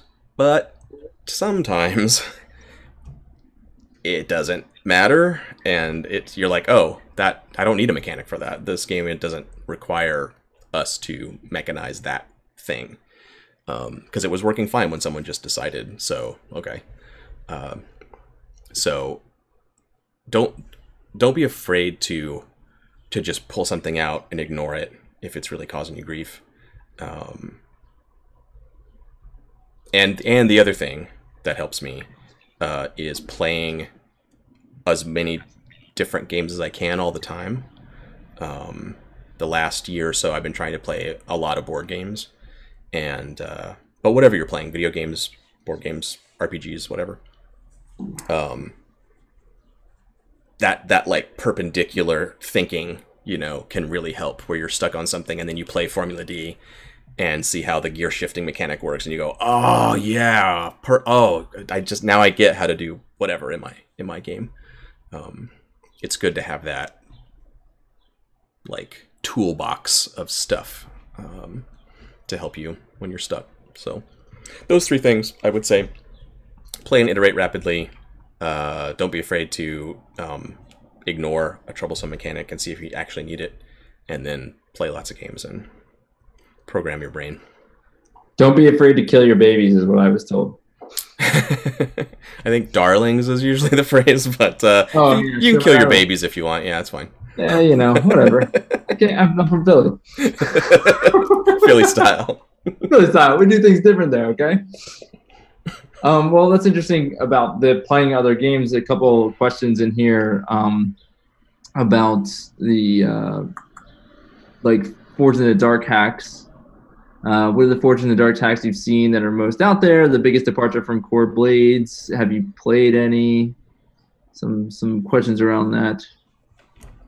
Um, yeah, there's there's a fair. I mean, it's not a hugely wide range at this point, but I know some stuff that's in development that's pretty different. Um, Girl by Moonlight, uh, which is coming out pr- pr- probably this year. The quarantine has affected production stuff a lot, but um, Andrew Gillis's game about magical girls, uh, it's really cool, and it it does some interesting things to the core formulas of blades, um, stripping some stuff out completely, uh, actually inverting some things from how they normally work.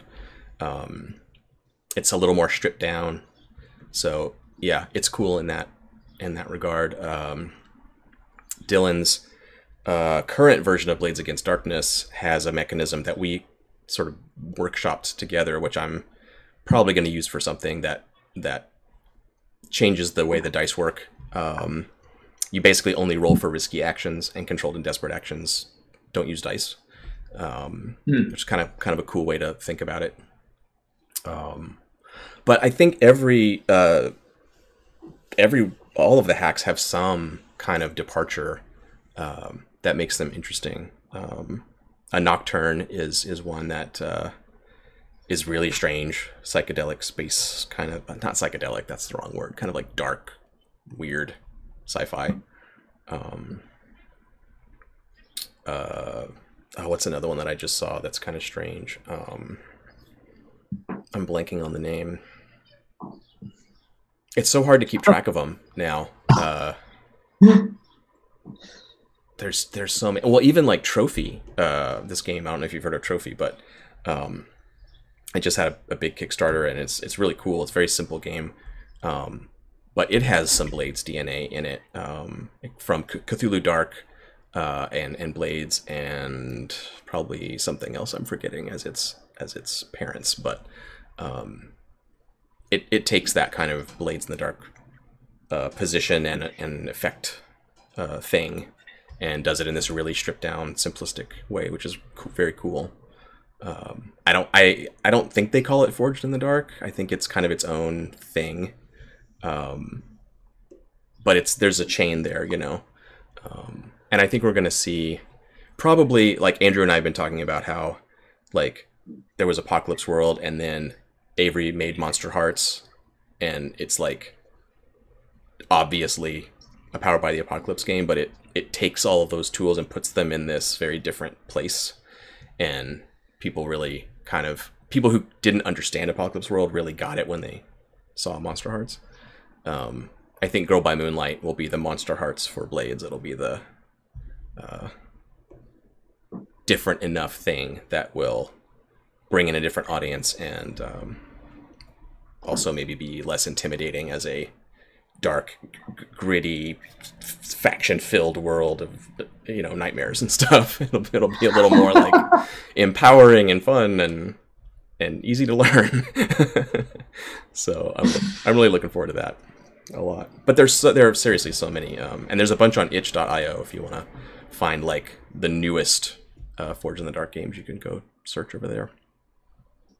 I think one of the next games I want to play is uh, Band of Blades. That seemed like a really cool Band of Blades is great. Yeah, it's got like the system. the structure of that game is so cool. Um, Yeah, yeah, that sounded really neat. I read through that a couple times, and I'm like, yeah, I think I'm gonna run this game. yeah, you're playing like the nameless rookies and an important soldier and the quartermaster of the legion and like doing all this like oh man.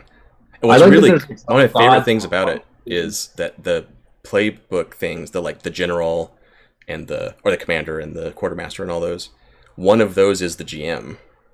Right. And so it just makes it so you're like, oh, I'll be quartermaster this time, you be GM, and you be the lore master, and, and you can just like swap them around. Um, it's re- really cool. yeah, that's it. Probably the next thing I'm gonna jump into. Yeah, I, I Um, think you would really like it. This is an interesting question. What comes to mind when you think of Duskwall in 60 in-game years time? Mm. Um, well, no spoilers, but uh, Flame Without Shadow, which is the Bluecoats Inspectors and Spirit Wardens supplement. Um, the uh, initial version is up on the Blades website for free now. If you can go get it in the supplements page. Um, it is moving the timeline forward. I think it's only 10 years right now.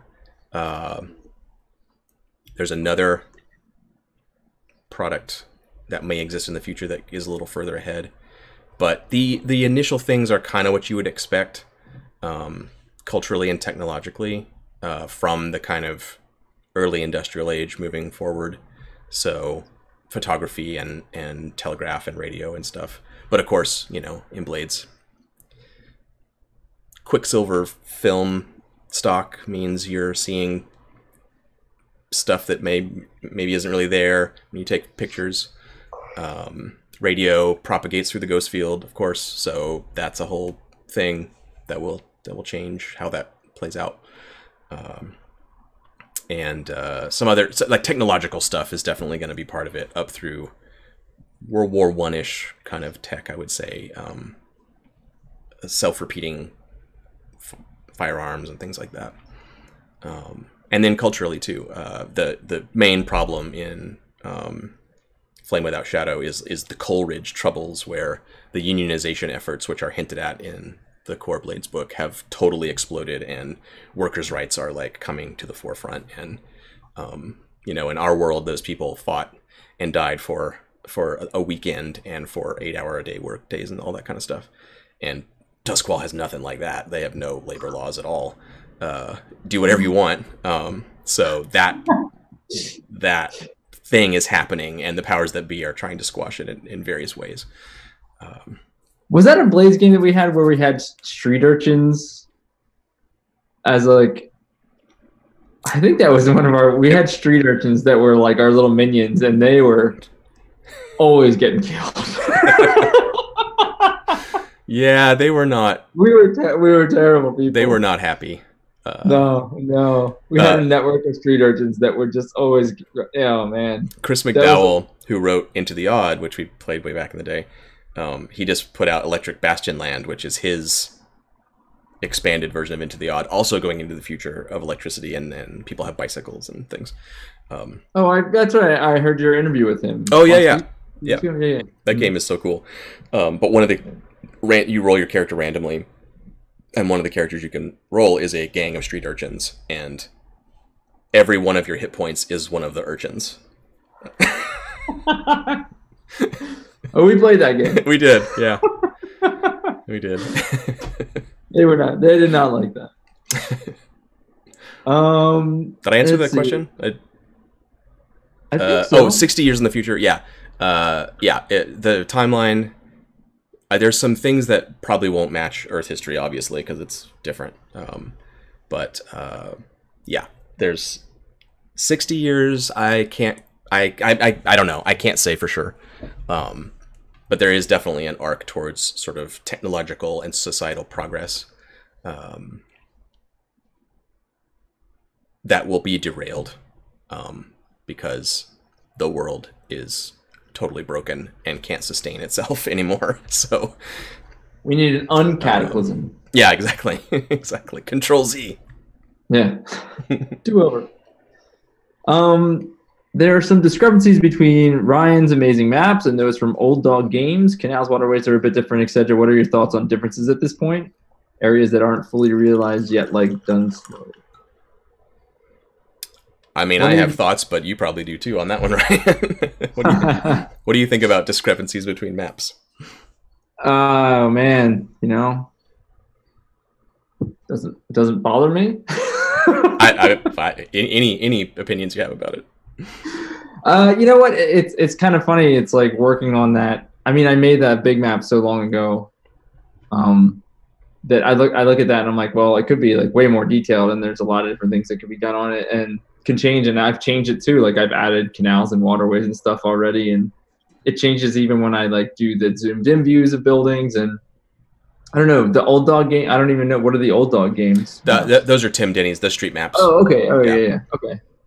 Yeah, you know, he goes like way more. Um, he got like way, way more in depth than I did. Mine is kind of like the old cartographer's sketch, you know, of of you know, and we actually joke like because I I left and and and traveled for a year, but I still kind of worked on it. But like there were unfinished areas, and it was like, oh, you know, the cartographer died before he finished, you know, parts of the map. Mm-hmm. Um, and and so like that's why some of that stuff isn't there and isn't completed. But now I'm kind of like going back and redoing that.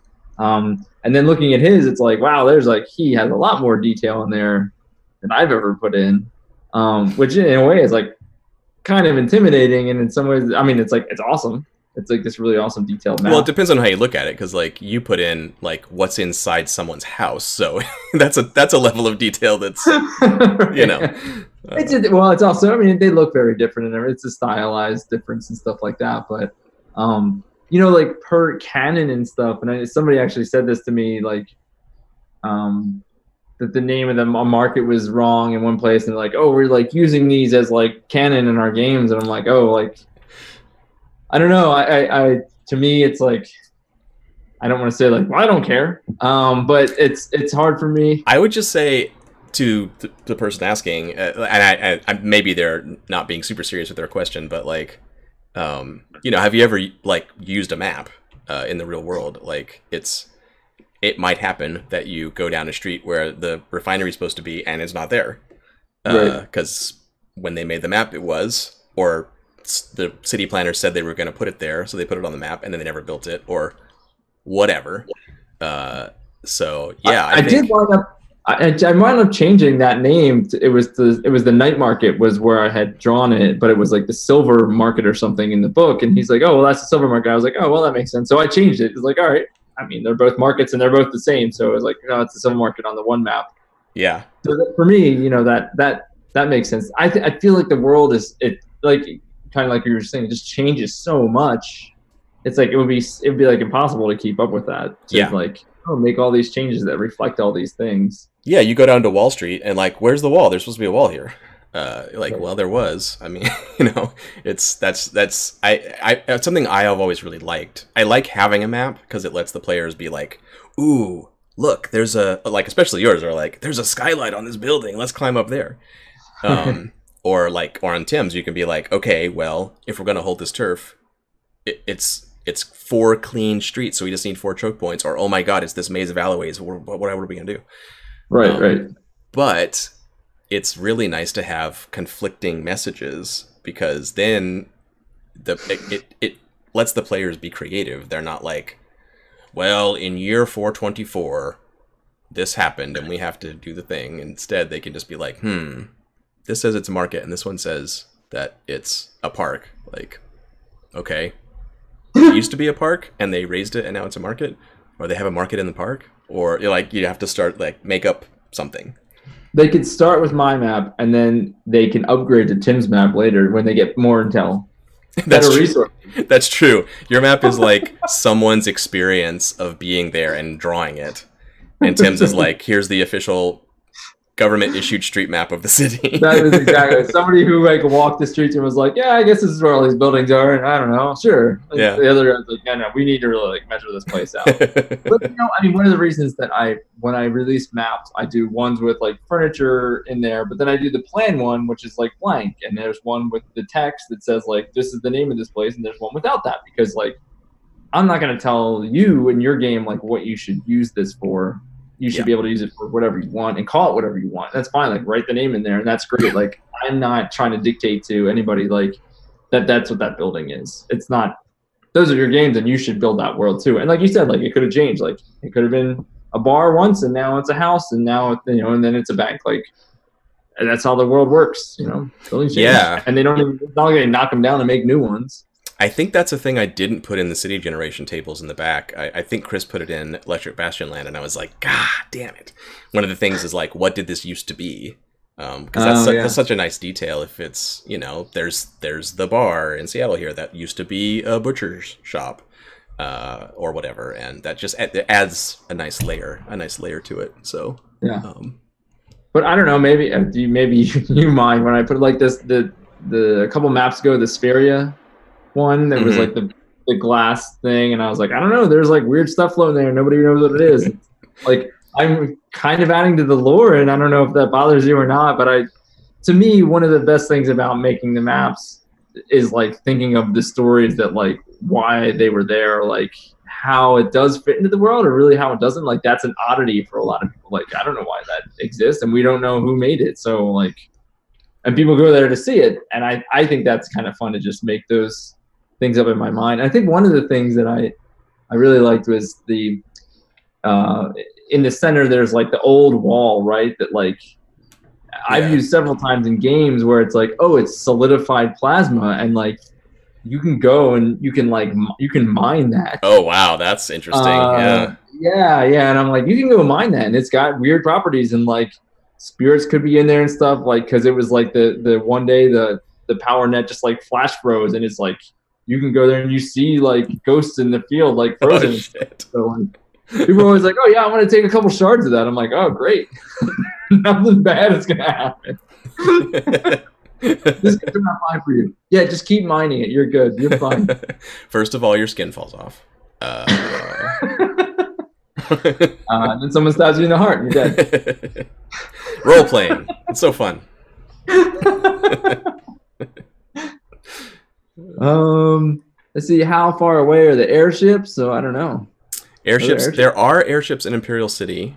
Uh, Oh, cur- current day in Blades in the Dark.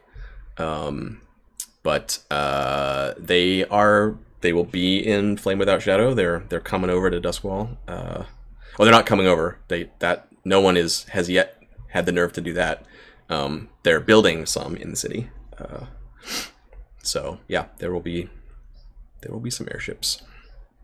Who doesn't want airships? I mean, come on. Yeah, they make everything cooler. Why not? Yeah. Everybody get on board this totally safe and reliable technology. we got to get to. Uh, I'm not gonna say it. Never mind. Secrets. Yeah, you got to keep some. um, Apple Maps versus Google Maps. There you go. yeah. All right. Well, we've been rolling for like two hours here, John. Any any final thoughts? Um. Final thoughts. I mean, yeah. It's it's been great to talk. Uh, we used to do this almost every day, so uh, Yeah. it's I've missed that a lot, and um, yeah, I think it's cool to to go back to the beginning and um, just really see uh, the, your your perspective on it and uh, how the game came together and um, continuing on to now, like the freaking solid plasma wall, you know, like just having having that that that full long arc from before it existed at all to right right now making stuff for it is it's Yeah. it's that's really cool. I love it. I, it makes me really happy to get that email and see the next thing that you posted and and just be like, fuck. Well, thanks for making a game and, and building a world that everyone can enjoy. It's good stuff. And I, I mean, yeah, I hope uh, people keep making new stuff for it and everything, and new maps, and uh, you know, hopefully, I hope to have a couple more of these. Um, might be calling it the Insight Roll. I think that's a pretty good name for this. Um, yeah, let me uh I'm gonna cool one. Put um, Ryan's Patreon in the chat, uh, so everyone can see what we're talking about. This is this video is is provided by that Patreon. Uh, sli- it's Ryan Dunleavy, right? Yep. And thanks for all the questions, everybody. That's awesome, and and visiting, and Wow, I broke that link somehow, but go go there. Um, you got two periods in there. that's Two two dot coms. son of a bitch. Can't undo. Can't undo in chat, John. This is the real world. I tried. I make a resistance roll. um, yeah, go check out Ryan. He makes awesome maps, and uh, I'm looking forward to future talks here. I think you said I don't I don't know if you want to tease it, but maybe more uh, old old timers. I hope so. Um, I hope so. That's that's the plan. To reach out to some people and see if they want to come on and uh, what their memory is of of these games and how it came about, and that'd be that'd be cool to have more people on. I'm really looking forward to those conversations personally, like not being there and to just to just listen to like the the the memory version of it, like what everyone's gonna have a slightly different um, memory of what it was. So yeah. uh, that'll be cool. Yeah. All right. well, uh, thanks for watching, everybody. John. I will. I And will um, thank you everyone for watching. And uh, hopefully I'll figure out a different way to stream it because it's not always going to be on John's Twitch. we'll get that sorted out. thanks, everybody. See ya. Have a good night. Bye.